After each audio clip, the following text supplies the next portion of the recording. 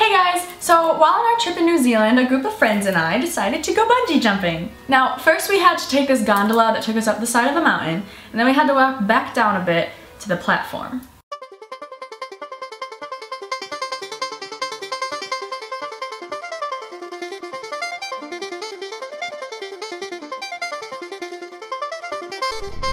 And then it was time to jump. Three, two, one,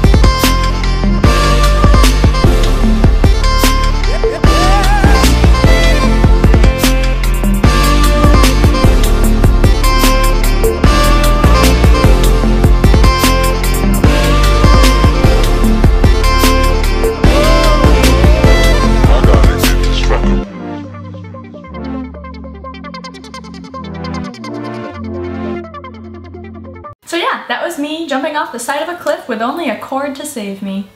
If you like this video, please give it a thumbs up. I mean, I jumped off the side of a cliff. I mean, the least you could do is hit the thumbs up button.